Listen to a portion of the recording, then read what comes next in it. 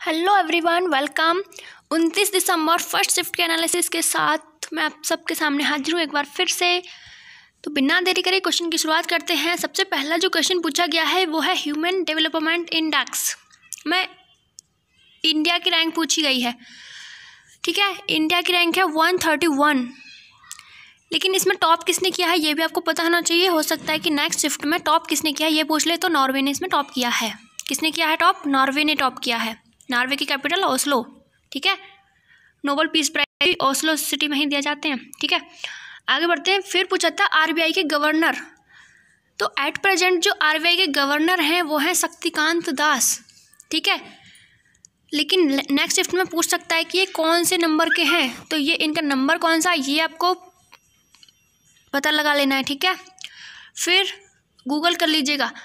ICC का headquarter पूछा है हेडक्वार्टर्स आपको सभी के याद कर लेने जितने भी इम्पोर्टेंट इंस्टीट्यूशंस हैं, उनके सबके। तो आई, यहाँ पे पूछा गया है, इस पेपर में आईसीसी का हेडक्वार्टर कहाँ पे है?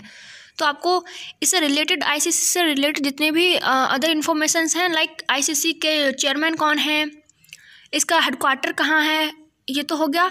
और इसकी स्थापना कब हुई थी, इस टाइप के क्वेश्चन आपको तैयार कर लेने नेक्स्ट क्वेश्चन था, भूटान की कैपिटल तो कैपिटल भी आपको बहुत सारे कंट्रीज़ की याद कर लेनी है जो इम्पोर्टेंट है। तो भूटान की कैपिटल थिम्पू फ़कीर विद्रोह किस वर्ष हुआ था? ठीक है? हिस्ट्री से आया है क्वेश्चन फ़कीर विद्रोह किस वर्ष हुआ था? फिर क्वेश्चन था कि सांची स्तूप को विश्व विरासत मतलब सांची स्तूप से रिलेटेड कोई क्वेश्चन था? अब ये नहीं एग्जैक्ट पता है कि क्या क्वेश्चन था। तो आपको ये कमेंट करके जाना है कि सांची स्तूप को विश्व विरासत स्थल कब घोषित किया था यूनेस्को ने?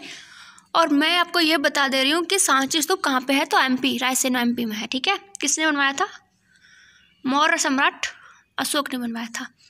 नेक्स्ट था कि पहली बार संविधान दिवस कब मनाया गया? या तो क्वेश्चन ये था या फिर ये था कि संविधान दिवस कब मनाया जाता है। तो दोनों का आंसर ये है कि संविधान दिवस तो छब्बीस नवंबर को मनाया जाता है भीमराव अंबेडकर जी के बर्थडे पर और सबसे पहले कब मनाया गया? ट्वेंटी फिफ्टीन में मनाया गया, ठीक है? दो हज़ार सॉरी दो हज़ार पंद्रह में मनाया गया था पहली बार संविधान दिवस। स्वराज की मांग से संबंधित कोई क्वेश्चन था? तो आपको पढ़ लेना है। स्वराज की मांग किसने की थी? कब की थी? पहली बार कहाँ की गई थी? इस टाइप के क्वेश्चन ठीक है? फिर ये जो प्रधानमंत्री कृषि विकास योजना या फिर जितने भी पीएम जिनके आगे लगा हुआ है वो वाली सारी स्कीम आपको याद कर लेनी है। प्रधानमंत्री किस कृषि सिंचाई योजना, इस टाइप से जितने भी हैं ये, वो सब आपको याद कर लेनी है, ठीक है? ये यहाँ पे पूछी गई है पीएम के वी वाई की full form K V Y की फुल फॉर्म पूछी है ठीक है? फिर पूछा था जर्मन सिल्वर से रिलेटेड कोई क्वेश्चन था कि इसमें सिल्वर की मात्रा कितनी होती है? या तो ये क्वेश्चन था, या फिर क्वेश्चन ये था कि जर्मन सिल्वर किसका अलाव है, ठीक है? तो इसमें जर्मन सिल्वर जर्मन सिल्वर में सिल्वर की तो मात्रा होती ही नहीं है, ज़ीरो परसेंट होती है। नाम में ही सिल्वर है बस, लेकिन इसमें सिल्वर नहीं होता है। और इस, ये किस किस से मिलकर बना है तो आप आंसर देख सकते हैं C U plus Z N plus N I यानी कि कॉपर जिंक एंड निकेल फिर क्वेश्चन साइंस का ये था कि बाइल जूस कौन बनाता है? आई मीन बाइल जूस कहाँ पे प्रोड्यूस होता है? तो लीवर में प्रोड्यूस होता है, ठीक है? एक्वारेजिया अमूल राज से रिलेटेड क्वेश्चन था कि ये किस किस का मिश्रण है, ठीक है? तो एच सी एल और एच एन ओ थ्री से मिलकर बनता है। ये किस रेशो में मिलते हैं? ये एच सी एल और H N O three three ratio one में। ठीक है? ए टी पी की फुल फॉर्म पूछी गई है। ए टी पी की फुल फॉर्म पूछी गई है इस पेपर में तो हो सकता है नेक्स्ट नेक्स्ट पेपर में आपसे ए डी पी की पूछ ले तो दोनों फुल फॉर्म मैंने आपके लिए लिख दी हैं। एडिनोसिन ट्राइफॉस्फेट और एडिनोसिन डाइफॉस्फेट ठीक है? इन एनर्जी करेंसी ऑफ़ बॉडी किसको बोलते हैं? ये क्वेश्चन आया था एनर्जी करेंसी ऑफ़ बॉडी किसको बोलते हैं? एटीपी को। एटीपी की फुल फॉर्म ये यहाँ पे लिखी हुई है, ठीक है? फिर क्वेश्चन था मिल्क मिल्क टीथ से रिलेटेड था कोई क्वेश्चन एग्जैक्ट नहीं पता है, ठीक है? तो आप डाइजेस्टिव डाइजेस्टिव सिस्टम में जो टीथ से रिलेटेड जो भी है मटेरियल उसको आप तैयार कर लीजिए। सेल की खोज किसने की थी? ये क्वेश्चन था। प्रोटॉन की खोज किसने की? ये क्वेश्चन था। तो प्रोटॉन की खोज के लिए ना आपको ऑप्शंस अगर गोल्ड स्टीन मिले तो गोल्ड स्टीन लगाना, या फिर आपको थॉमसन भी ऑप्शन मिल सकता है। थॉमसन नहीं रदरफोर्ड सॉरी प्रोटीन की खोज के लिए गोल्डस्टीन या फिर रदरफोर्ड दो नाम आपको मिल सकते हैं, दोनों में से कोई भी सही होगा। वैसे गोल्डस्टीन ज़्यादा सही है, ठीक है? लाइम वाटर किसे कहते हैं? ये क्वेश्चन था, गुरु शिखर की ऊंचाई पूछी गई है, सत्रह सौ बाईस मीटर है। जीएसटी किस प्रकार का टैक्स है, ये भी पूछा गया है। ठीक है इनडायरेक्ट टैक्स है। बाबर के पिता का नाम पूछा गया है। उमर शेख मिर्ज़ा। सिर्फ़ उमर शेख मिर्ज़ा नहीं, उमर शेख मिर्ज़ा द्वितीय सेकंड थे वो, ठीक है?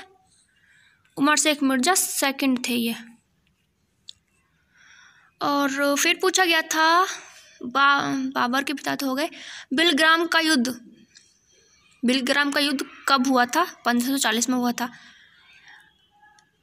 किस किस के बीच हुआ था? बाबर सॉरी बाबर बोल रही हूँ मैं। बिलग्राम का युद्ध, हुमायूं और शेरशाह सूर्य के मध्य हुआ था, ठीक है?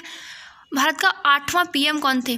पीएम को आपको जितने भी पीएम अब तक हुए हैं, जवाहरलाल नेहरू से लेकर प्रधानमंत्री मोदी जी तक, क्रम वाइज आपको सारे के सारे याद कर लेने हैं, ठीक है? तो आठवें नंबर के पीएम पूछे गए चंद्रशेखर थे।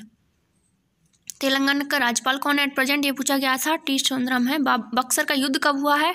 ये पूछा गया, बाईस अक्टूबर सत्रह सौ चौंसठ को हुआ है। लेकिन अब बक्सर की उससे रिलेटेड आपको जितने भी अदर इंफॉर्मेशन हो, वो सब आपको तैयार कर लेनी है। टाइगर रिज़र्व कितने टोटल एट प्रेजेंट तो ये हैं फिफ्टी वन टाइगर रिज़र्व हैं एट प्रेजेंट जो सबसे पहला टाइगर रिज़र्व था, वो था जिम कार्बेट कहाँ पे है? उत्तराखंड यूके में है। और लास्ट जो लेटेस्ट ऐड हुआ है मतलब कि फिफ्टी वन वहाँ जो बना है, वो नागार्जुन सागर सेलम है, आंध्र प्रदेश में। आंध्र प्रदेश। यूएनओ की फुल फॉर्म पूछी गई है तो ये इजी सा क्वेश्चन है, कोई बता सकता है यूएनओ की फुल फॉर्म और यूनेस्को की स्थापना कब की गई, ये क्वेश्चन पूछा गया।